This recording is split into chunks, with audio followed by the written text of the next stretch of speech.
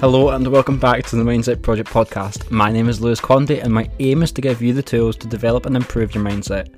By drawing on my own experiences as a competitive swimmer, as well as the opinions and experiences of other incredible individuals, I hope to expose you to an alternative way of thinking. And in doing so, I hope that inspires some sort of personal growth.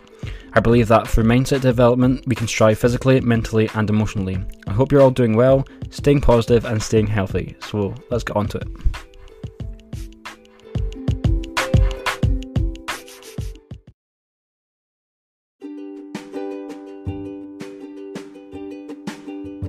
Welcome back to another episode of the Mindset Project podcast.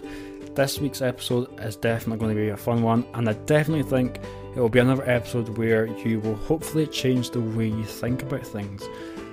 And this, the topic of this week's episode is on being offended. So I have always wanted to talk about this topic because one, I think it's very interesting, and two, we live in a society now where people get offended left, right, and centre. So I think that is a very, very relevant topic to talk about. So instead of easing you in this week, I'm literally just going to jump straight right in there and say that being offended is a choice because it is. You being offended is a reaction to something. So, for example, someone has either said something or done something that triggers something within you and then you feel offended. But you don't necessarily need to feel offended, you could just as easily ignore it and move on. Both are choices. And what I say in this episode will no doubt trigger people or offend them because I will be saying things that put responsibility onto you. And don't worry because I'm going to show you how you can not feel offended in the future. And I think before we go any further, I'm just going to say this you know, everything I do is has no intentions of being offensive. I have no intention of, you know, offending anyone or triggering any, anyone. The sort of aim of this podcast is to give you a different way of thinking, give you um, a different outlook, a different perspective on different topics, on life, on whatever it may be that we're talking about. Um, and you know, you can agree, you can disagree. That is absolutely fine. I'm not trying to persuade anyone to think the way that I think, but what I think about uh, mindset is that when you sort of expose yourself to different mindsets, especially ones that sort of challenge your own, that is where um, you know self growth, self development it lies because you're sort of having to challenge your own beliefs. You're sort of you're challenging that your sort of core principles in many ways. Um, so I definitely think perspective and mindset is all about surrounding yourself with perspectives and opinions that you necessarily don't really agree with because you can sort of understand where that person's coming from and obviously you can take this into your own adjust your mindset adjust your perspective and it just makes you far more open-minded so that was just a quick little rant, but yeah, we're going to get started with this episode. So, let's say that you are offended. What I see that happens is that the person who is feeling offended often goes on the defensive and goes after the perpetrator. So, the person who has said that thing or done that thing which has caused this offence, and what they will say is the perpetrator has to change their behaviour, but where is your responsibility in this equation? because it is you that is feeling offended. Someone else might not find what they have said or what they have done offensive, which means the problem is you, not that individual.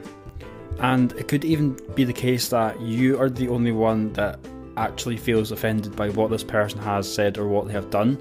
And if that is the case, then obviously you have to sort of take responsibility for how you're feeling because if no one else feels offended by what they've said or what they've done, then yeah, you are sort of responsible for you. So yeah, it is sort of down to you. So what if I told you that maybe it isn't the perpetrator that has to change their behaviour? Maybe it is actually you. And people will not like that because what I'm basically saying is you are responsible for feeling offended because you are. Like I said at the start, you can easily walk away and ignore it, or you can choose to be offended. Like the choice is up to you, the power lies with you.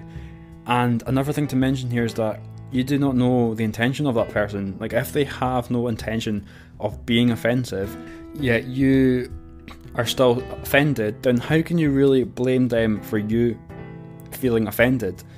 Like, this sort of just highlights again that you have a role to play here in being the solution and sort of working on yourself in order to not feel offended. And the reason that the power lies with you is because, like I've already mentioned, you can just easily ignore it and move on rather than feel offended. But what can you do if you do get offended? So, if you ever feel offended, instead of having that reactionary response of they're being offensive because they're not nice, yada yada yada, try and look inward to yourself. Because, like I've already said, feeling offended is a response to something. So, someone has triggered something within you to create that reaction. And perhaps this is something, eh, this something could be an insecurity you might have. And when that insecurity is triggered, that is that could be what makes you feel offended. And because of that, you need to start looking within yourself to find out what that thing is and address it so that you don't become offended in the future because there is so much power in not reacting to something someone has said or done. You know, like I've already said, not everyone has the intention of being offensive, but some people do have that intention and they are seeking that reaction from you. So when you don't give them that reaction, you aren't giving giving them your power.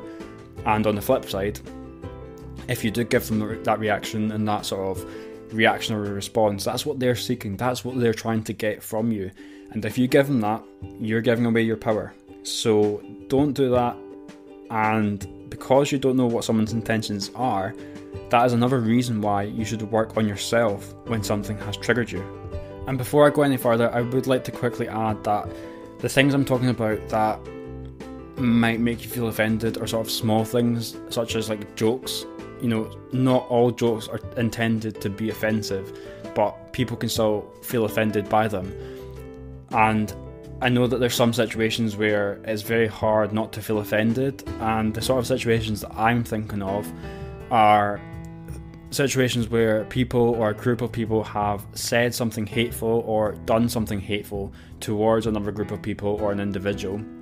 And all I can really say in these situations is if you can, try and ignore it because people who are projecting hate do not deserve the time, the energy, and the oxygen because the, the reason they're projecting hate is because they're insecure about something. They're either jealous or they lack something and they're sort of just projecting that out.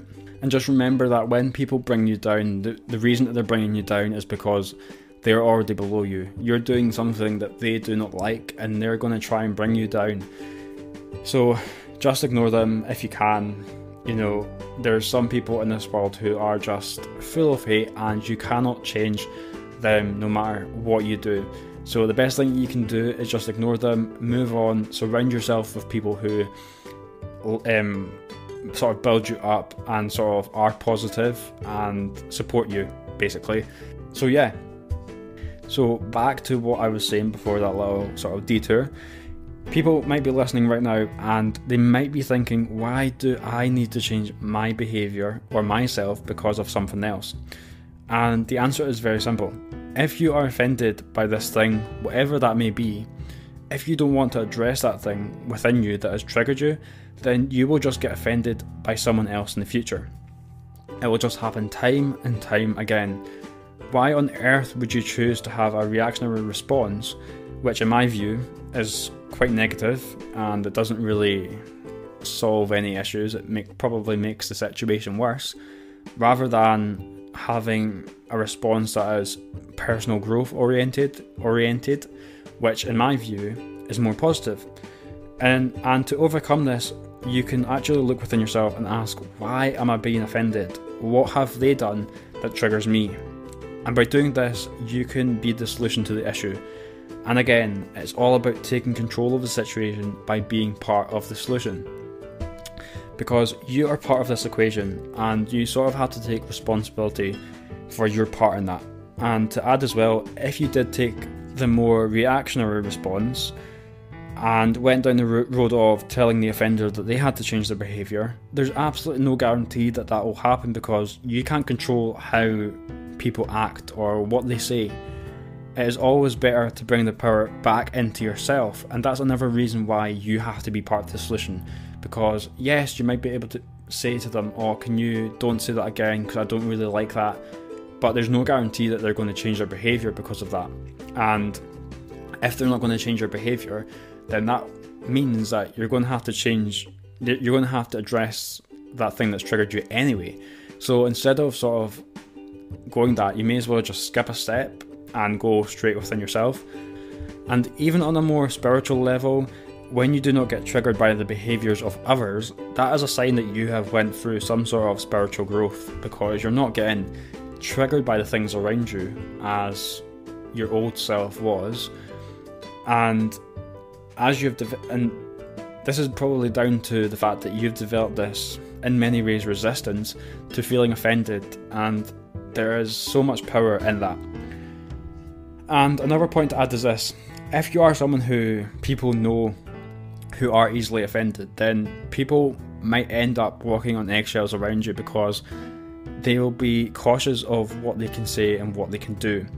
And this might actually put restraint on your relationships because they might not be able to be their true selves because they're being sort of cautious around you. And I can speak this from experience because I am a very sarcastic person and not everyone gets that and I accept that. And I do think it is very easy to offend people when you are being sarcastic. Now, obviously, my friends know this and they sort of understand that I'm sarcastic, and they probably don't take me seriously most of the time. But if I said, for instance, that jacket looks absolutely awful, I obviously wouldn't be saying it literally. Like, I wouldn't be, you know, saying that your jacket looks awful.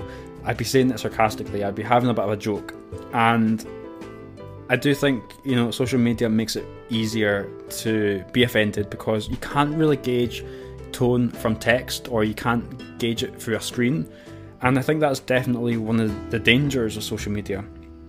And it's actually why I started to prefer TikTok to most social media apps because I can make a video using my tone of voice and my facial expressions, which means people can sort of get that. They can sort of get that sarcasm, which I use almost all the time. And for example, like using the previous example of that jacket looks absolutely awful, obviously I wouldn't say it to be offensive, but if that jacket meant something personal to that individual, or they were in a like tough place mentally, then that could cause them to feel offended. And obviously I would have no intention of being that. I'm just super sarcastic, and that's something that I would say. And another thing that I should have mentioned earlier is that when you choose to feel offended, you're actually choosing to be the victim.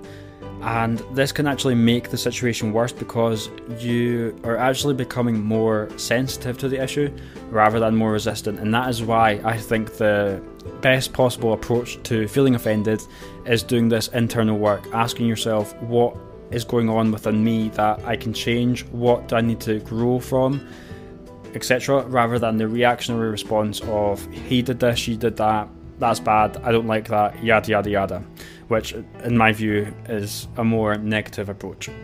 So, to conclude this little episode on being offended, I think the key message here is about looking inward when someone or something triggers you to be part of the solution because by doing that, you're not giving away your power to the offender or the perpetrator, or whatever you want to call them. And also, having this internal solution can actually help you grow spiritually as a person because you are facing your insecurities and you're facing your fears and you're taking these head on. And you're also doing things that might make you uncomfortable, as it is these things that can often cause us to feel offended. And you know, when you do the things that make you uncomfortable, that's where you're going to grow as an individual. That is where you know, doing the uncomfortable things is what makes life more comfortable in the future. And instead of having that reactionary response, which often happens, we start to look internally and within us to see how we can solve the issue. And there are some situations where, you know, there's nothing that we can do on the individual level. You know, sometimes people are just offensive and that's that there's nothing we can do about it. And in those situations, all we can really do is just ignore it. Like, why stress about something that you cannot control? You know, the sort of key thing that I'm trying to get here is that sometimes if you are offended, the answer can actually be within yourself as opposed to externally. So, I hope you enjoyed the episode. I hope I haven't offended anyone. And that is going to be the concluding remarks on this week's episode. So, with that, stay fit, stay safe, and I shall see you on the next one.